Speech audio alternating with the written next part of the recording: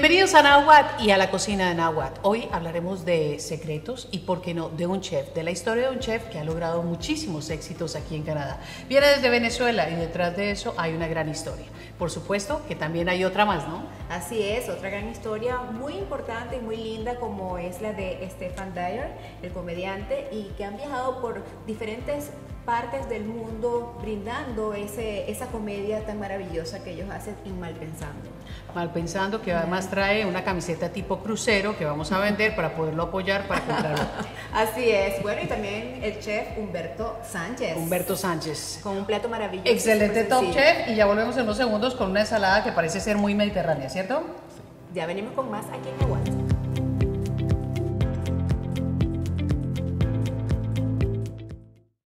Los doctores Julio Pérez y Mónica Cortés cuidan de tu vista. En Aigo Optical cuentan con laboratorios y tecnología de punta en fabricación de lentes, monturas y lentes de sol de las marcas más reconocidas. Aprovecha la promoción de 3 for 1 Eyewear. Con la compra de un marco y sus lentes, los otros dos, de igual o menor precio, te salen gratis. Aigo Optical en Mississauga, Burlington, Toronto. Aigo Optical.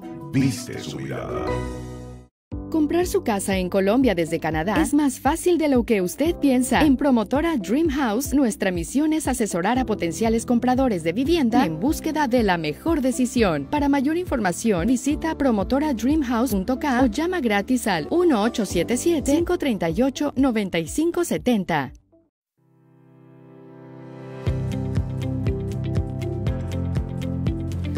Y esa es la mezcla de los sabores, pero también de las buenas historias. Hoy viene a contarnos la suya el maestro, el chef Humberto Sánchez, y es un gusto tenerte en, la, en Muchas gracias, gracias por la invitación. Gracias por lo de maestro. porque los hombres que cocinan aprenden muchísimo y por eso les llamamos que son unos muy buenos profesores y terminan siendo maestros. Además eres maestro de una universidad aquí, ¿no? Sí, soy chef profesor en el George Brown College. Bueno, ¿has, logrado muchas metas? Sí, con trabajo duro y esfuerzo lo he logrado, gracias al Señor. ¿Saliste de Venezuela y perdóname? ¿Saliste de Venezuela? En el 2002. Salí con mi familia a Miami y ahí fue cuando, como un joven inmigrante buscando un trabajo, conseguí trabajo en un restaurante, empecé lavando platos y pero yo veía que los cocineros le ganaban más dinero y, y, a pesar de que el restaurante era bien ocupado, ellos se reían, disfrutaban muchísimo. Disfrutaban muchísimo.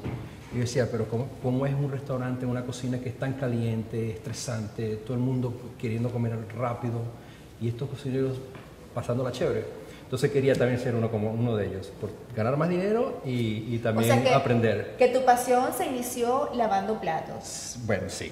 Eh, gracias. La pasión se inició mirando a los otros. Bueno, pero, o sea, pero comenzó lavando platos, quise decir, comenzó lavando platos, pero se inspiró en los que estaban en los sí, demás, por supuesto, cada, cada vez que estaba lavando yo lo miraba en lo que hacían, ¿no? Porque decía, eh, quería aprender, quería aprender lo que ellos hacían y, después en una oportunidad em, le dije al jefe de cocina que me diera una oportunidad porque de verdad quería aprender.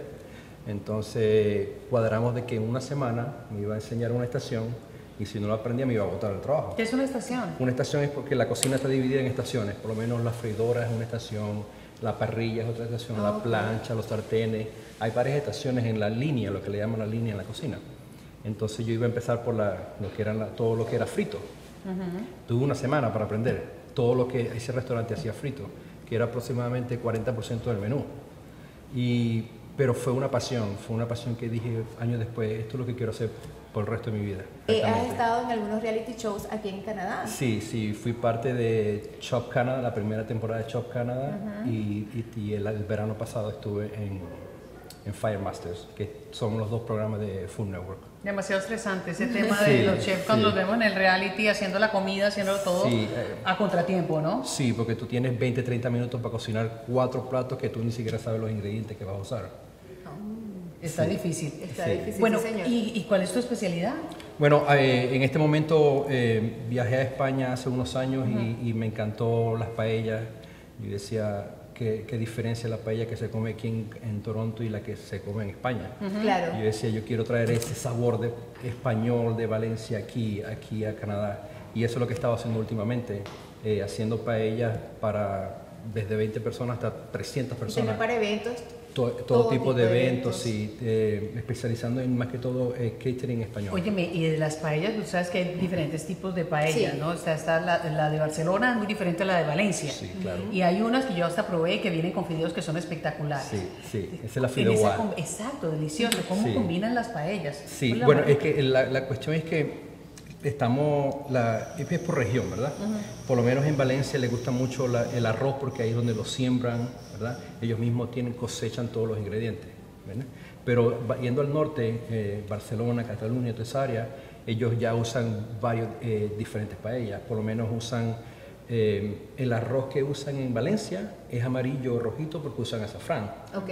Pero el arroz que usan en varias partes de, de Val- de Barcelona usan tinta de calamar, entonces es un arroz Sí, negro. es negro, Sí, es claro, por supuesto. Entonces ellos lo llaman rosellat. ¿Y a ti cuál te gusta más? A mí me gusta fideuá. A mí también, yo me quedé con eso, por eso hablé de los fideos, pero dije, de pronto yo estoy mal. Fideuá es Bueno. una paella, una paella, pero en vez de, de arroz usan eh, fideo, que es el cabello de ángel. Y es Y delicioso. ese, ese riquísimo. cabello de ángel a mí me fascina. Sí, Pero bueno, y hablando de cabello de ángel, vamos a hablar aquí de este ángel, de este plato angelical que nos va a traer en el Estilo mediterráneo. Sí, estilo Sí. mediterráneo. Vamos a viajar para, para allá, para Europa. Sí, por lo menos me gusta llamarla mediterránea porque tengo ingredientes como hummus, Exacto. es una vinagreta de champán. Tú sabes que todo vino quiere convertirse en vinagre, ¿no? por eso tiene que controlar eh, las temperaturas y todo eso. Este, tomate, quinoa, remolacha, una- unos pimientos eh, rostizados ¿verdad? y kale. Y repetí. El el kale se está utilizando mucho hoy en día. Sí, es- es el, sus- es el sustituto de alguna Sí, alto en, alto proteínas, te, te das, eh, tú siempre cuando, cuando cocinas tienes que mirar que necesitas algo ácido, necesitas algo dulce, necesitas eh, amargos, entonces cuando mezclas todos esos ingredientes es que es sabroso, porque por lo menos, por lo menos aquí la almendra es un poquito dulce porque la cociné con maple syrup. Ah, delicioso. Bueno, vamos manos a la obra entonces. Ok, vamos a sí, ver este- bueno, vamos a entonces, aquí está el kale, vamos a poner una cucharadita de, de tomate, eh, perdón, Pimentón. pimiento. ¿Eso lo, lo cocinaste en Sí, aceite? sal, pimienta, eh, aceite de oliva y lo pones al fuego. Ok. Sí, y ya cuando te la, la concha bien negrita, lo pelas y entonces ya lo cortas. Y Entonces queda como la dul- berenjena, que también se bien, hace bien, dulce- bien dulcito. Delicioso. Sí, esto un poquito de almendras para darle un, un poquito Y también de... doraditas con un poquito de Maple maple, syrup, syrup, sí, que para es dar- típico canadiense para Sí, que le guste. Sí, para darle un poquito de crujiente a Claro. la ensalada, un poquito de tomáticos, Cherry tomatoes. Los cherry tomatoes, que son ajá. espectaculares, típicos para la ensalada. sí, un poquito de remolacha, para Remolacha. también Todo darle otro- cortado bien pequeñito. Claro, para que no solamente tiene que saber bien, tiene que lucir bien también, ¿verdad? Ay, claro, Cierto. claro, es Sí. cierto. También. Todo entra por los ojos. Ajá. Claro, todo- Así es. un poquito de Quinoa, amo quinoa. la quinoa. Sí, Y chévere la, sabor. ¿Cómo la preparas? O sea, con Bueno, agüita, con Sí, porque si tú quieres hacer este plato vegetariano o vegan es bien sencillo, solamente usas eh, agua Ok. y sal. Ok. Que yo considero la diferencia entre una- un, buen, un buen plato y un plato que no es tan bueno es una pizquita de sal. Ok, perfecto. Vamos con la sal. Y le echamos aquí, ¿qué tenemos? Este es una vinagreta de champaña, De bien champ- sencillo. Por lo menos si Ah, ya nos corchó, ya, Ya. Sí, eh, para hacer cualquier vinagreta tú necesitas, eh, por lo menos si necesitas, eh, si tienes una, una taza de, vinagre, Ajá, usas dos veces la taza de la cantidad.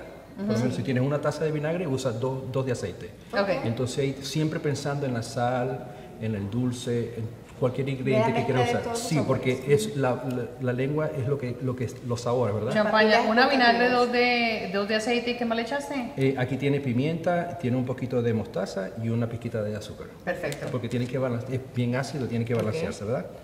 Se lo un poquito. Además que es- esa combinación de colores Claro. se ve ¿Eso, espectacular. ¿Eso sirve de almuerzo o no? Sí, sí, sí, ¿Sí? claro, claro. Estamos mezclado. Delicioso. ¿Y el humo lo dejas de último? Sí, ya va. Porque, ¿cuál es, ¿Por qué ese secreto de la decoración o qué? Sí, claro, Ah, claro. Porque voy a, lo que voy a hacer es que voy a, a usar el hummus como una base, ¿me entiendes? Hummus bien sencillo. Ah, fíjate, así sale más Como rico. una cama. Exacto. Entonces lo ponemos aquí. Gracias. Mira qué belleza. Claro, porque encima no queda bien. Claro. Entonces cuando van, van probando, se van dando cuenta de que Y ustedes se van antojando. abajo, en la parte de abajo está el hummus. ahorita. Delicioso. Queda uno súper bien. eh, por ejemplo, con Pero una tapa de verano, por eso es mediterráneo, ¿no? Mira esa presentación. Espectacular. Los colores, los sabores. Me da una pena con ustedes que No, solo te dejamos todo eso a ti, no importa, No, no, porque no. después vamos a preparar. ¿Y qué tal? Bueno, yo tranquila, porque yo después como después, Gracias. cuando terminemos. Masterchef, definitivamente. No se olviden, no se van a perder. Ahora, después de esta buena comida, hasta Stefan Dyer, que viene con una camiseta que les va a encantar. La Así es, ya venimos con más. ¡Ay, no!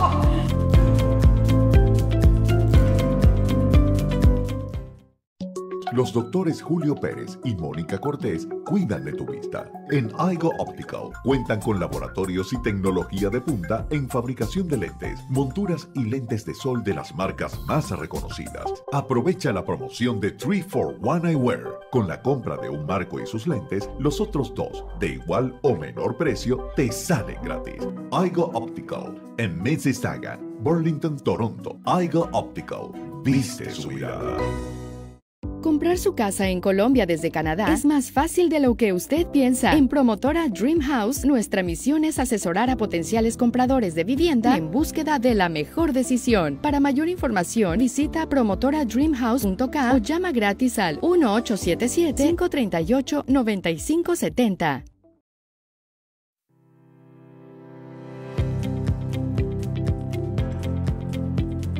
Dicen que llegó la hora del stand-up comedy. Así es, con nuestro querido invitado Stefan Dyer. Así que vamos a estar hablando. Muy seria para lo que tenemos que hacer. Así Muy es. seria. Bueno, comenzamos seria porque ahora viene la diversión. Hablando de la comedia, tenemos que invitar a Stefan Dyer el día de hoy para que nos cuente. ¿Sabes que se fueron a Malasia, no? Sí, claro, estuvieron también en El Salvador. Bueno, ustedes saben, renunciar a los trabajos, decidieron cambiar de vida, empezaron a ver qué iban a hacer con sus vidas, cómo iban a pagar la renta, un montón de cosas que les pasó y después de eso dijeron, nos vamos para Malasia. Les habrá ido bien, realmente esta carrera vale la pena. Estefan, ¿cómo estás?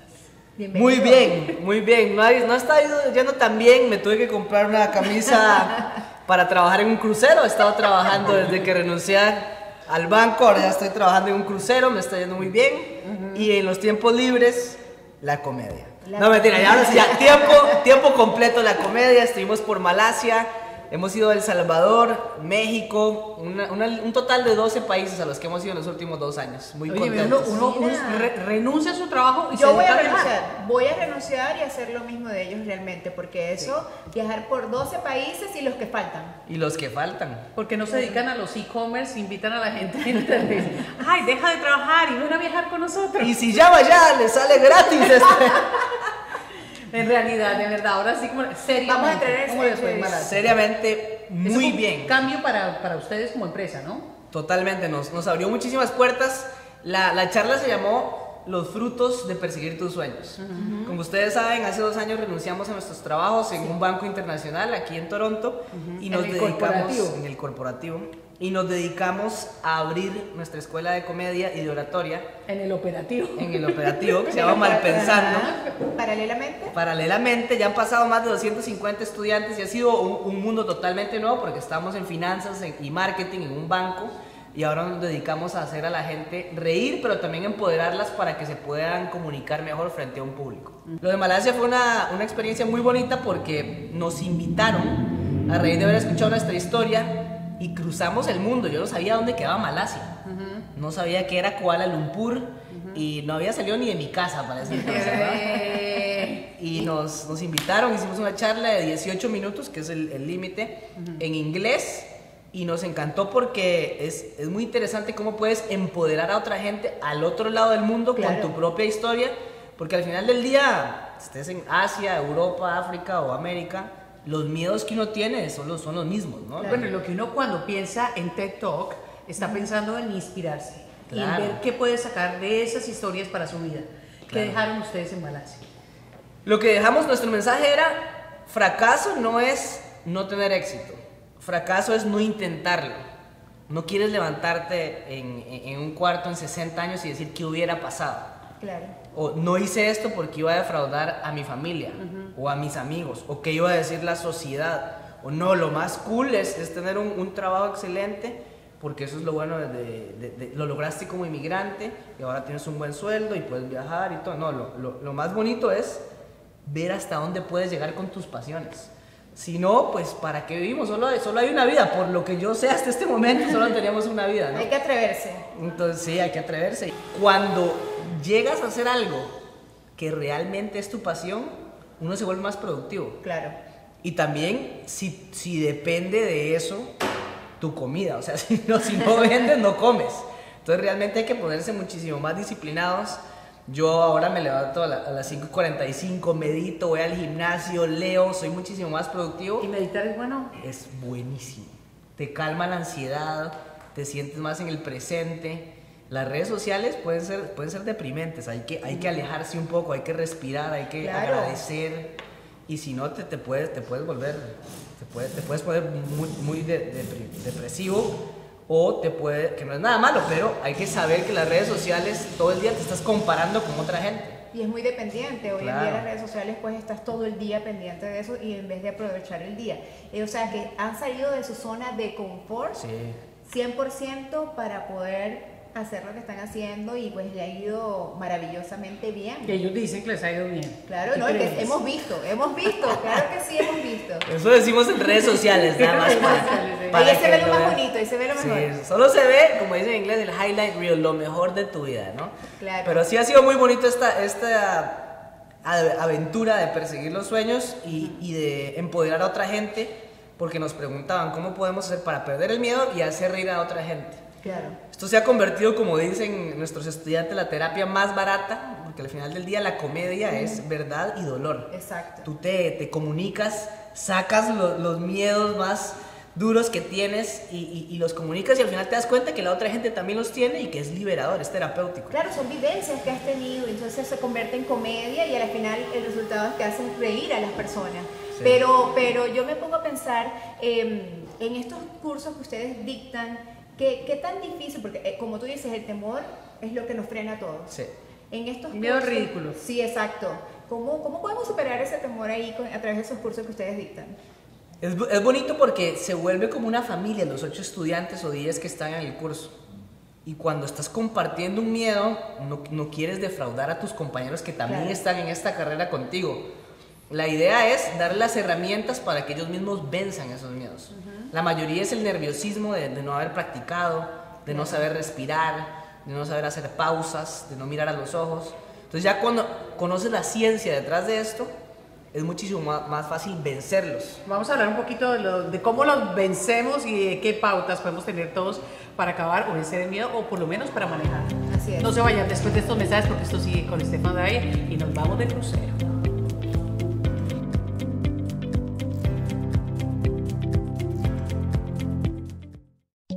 Los doctores Julio Pérez y Mónica Cortés cuidan de tu vista. En Aigo Optical cuentan con laboratorios y tecnología de punta en fabricación de lentes, monturas y lentes de sol de las marcas más reconocidas. Aprovecha la promoción de 3 for 1 Eyewear. Con la compra de un marco y sus lentes, los otros dos, de igual o menor precio, te salen gratis. Aigo Optical en Mississauga, Burlington, Toronto. Aigo Optical. Viste su mirada. Comprar su casa en Colombia desde Canadá es más fácil de lo que usted piensa. En Promotora Dream House, nuestra misión es asesorar a potenciales compradores de vivienda en búsqueda de la mejor decisión. Para mayor información, visita promotoradreamhouse.ca o llama gratis al 1877-538-9570.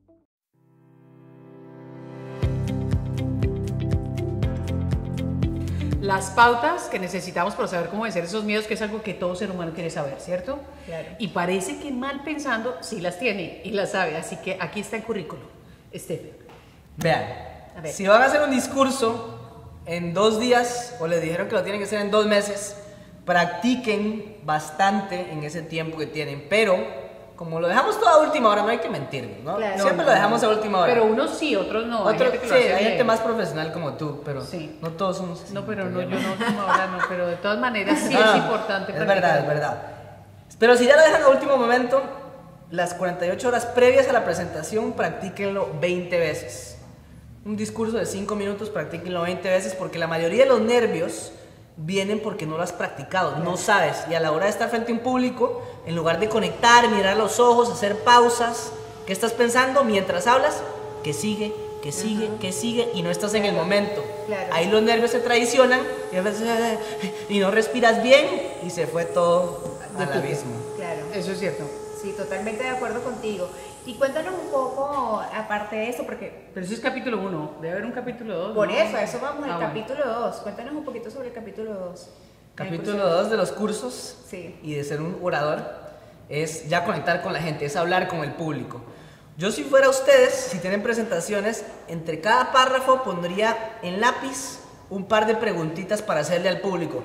Porque no quiere ser de esas personas que después de una hora le preguntan a la audiencia, ¿alguien tiene preguntas? Y todo el mundo, no, no tengo preguntas, me quiero ir a la casa. Exacto. Entonces, No, y- la idea es hacer preguntas. interactuar con el público. Claro, porque Pero también así- es importante el manejo del micrófono, cómo colocarlo, la vocalización. Es verdad. Bueno, todo eso tiene que ver con, precisamente con una presentación, pero hay algo que le asusta mucho a la gente, porque tú puedes a veces manejar el nivel de voz, la vocalización, Total. la gente no sabe qué hacer con las manos. Total. Yo lo que recomiendo es, puedes estar así, cuando tienes el micrófono puedes hablar con una mano, la idea es que no estés hablando con las dos, Claro. solo.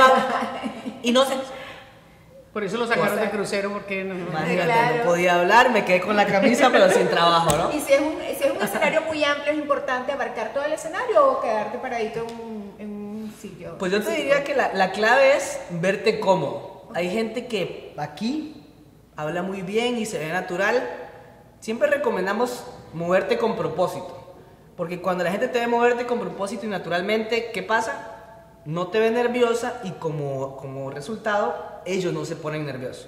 Nosotros siempre decimos que el público es un espejo de uno. Si tú estás nervioso, se ponen nerviosos. Si tú, si tú estás hablando muy así, ellos no respiran tampoco. Entonces puedes caminar Es con contagioso. propósito. Claro, claro. Si tú estás disfrutando, ellos disfrutan. Si tú te ríes, ellos se hay que ríen. aprender a ¿Y manejar ¿Qué pasa cuando tú estás, por ejemplo, en un escenario y te dejan de prestar atención? Ah, es muy buena pregunta. Ahí los tienes que recuperar otra vez. Ahí es cuando no te están poniendo atención porque no los has visto a los ojos, no has hecho pausas, no les has hecho preguntas. Entonces hay una cosa muy bonita de hacer preguntas e interactuar con el público es, si yo te pregunto a ti, la gente alrededor de tu mesa ya va a poner atención porque dice, uy, no quiero que me pregunten a mí. Claro, le da miedo. Sí, segundo, si yo te pregunto a ti, me da unos segundos para que yo descanse un ratito de mi hablada. Y lo otro es que cuando todos te están mirando y yo no soy el foco, por un par de segundos yo puedo pensar que sigue. Claro. Entonces, todo lo- hay muchos beneficios de dejar que el público, de hacerle preguntas al público. Ah, muy Interesante. Mira, estamos aquí prácticamente, Venezuela, Colombia, Costa Rica, y así podríamos decir y enumerar todos los países latinoamericanos o de habla, o de habla hispana. ¿Qué hacen? Porque es que cada uno, la sociología nos determina con ciertos tipos de palabras, costumbres, signos, códigos. Sí. ¿Cómo hacer para no correr con esas barreras, sobre todo en la comedia, que a veces hay una línea que uno no debe cruzar? Totalmente. O sea, yo, Malpensando nació por ese doble sentido, ¿no? Una palabra en Colombia puede significar algo totalmente diferente en Venezuela. Aquí en Toronto lo, Lo veo- sabemos. Claro que sí. Bien lo sabemos, ¿no? Esa camisa sabemos, tuya ¿no? está muy arrecha. Lo más arrecho del mundo, ¿no? Que en Colombia significa otra cosa, ¿no? Pero la idea es, lo bonito de Toronto es que es multicultural, entonces Claro. entre grupo, entre malpensando, los integrantes decimos, eso no te lo van a entender, usemos un sinónimo. Ok. O si da risa, usémoslo, pero con propósito para que tenga ese cortocircuito en, en la mente de la gente y se rían. Pero hay que jugar eh, con, con eso específicamente. Arrecho es una palabra perfecta. También lo jugamos con, con el inglés y el español, ¿no? Yo les contaba que unos colegas de, de- mi trabajo, una señora llegó súper feliz ese día porque a su hijo lo habían aceptado a la Universidad de Yale en Connecticut. Nos estaba contando en español y se metió el vicepresidente que no habla español y le dijo, hey, ¿qué está pasando? En inglés, ¿no? Y ella le dijo, ay, señor, I so proud of my son Ernesto, he's in jail. ¿El qué? ¿En jail? ¿En la cárcel? ¿Qué pasó, no? Son cosas que por, Claro. pra- por pronunciación Sí, no sabemos qué está pasando, ¿no? Hay que, hay que ser muy específicos con cómo pronunciamos y nos comunicamos. En español es igual, somos más de 15 países que hablamos el mismo idioma Sí. con diferentes palabras casi, casi, Exacto. y acento. Ay, no, que no, también el contexto es importantísimo, ¿no? No hay que sacarlo de contexto. Pero cuando la gente ya comete esos errores, ¿qué hay que hacer, no? Ya seguir derecho y no más. Reírnos. Claro, reírnos. como dicen en inglés, point out the elephant in the room, hacer evidente lo que ya es evidente. Exacto. Mucha gente ya, como tú dices, si no te están poniendo atención, o si alguien se cayó y lo están viendo, o si alguien está tosiendo y ya nadie te está poniendo atención, o empieza a oler feísimo en el cuarto y todo el mundo está mirando a ver quién fue, pues hay que hablarlo, hay que, a ver, ¿quién se tiró un gas, no? ¿O quién? ¿Quién hizo este? ¿Quién hizo lo otro? ¿Quién se cayó? Oye, ¿qué está pasando? Porque si no te están poniendo atención, hay que hacerlo evidente. Está buenísimo. Bueno, evidente se hace que mal pensando sigue creando espacios para muchísimas personas, no solamente en Canadá, sino en otros lados, y les deseamos pues que les siga yendo bien y que la comedia se siga haciendo plata. Nos felicitan. Es, Compramos otra camisa, estamos haciendo también la recolección para cambiar el, el crucero o la camisa, una de las dos. Claro que sí, deseándole la- el mejor de los éxitos. Y bueno, Gracias. gracias a ustedes por haber estado en sintonía con nosotros aquí en Nahuat.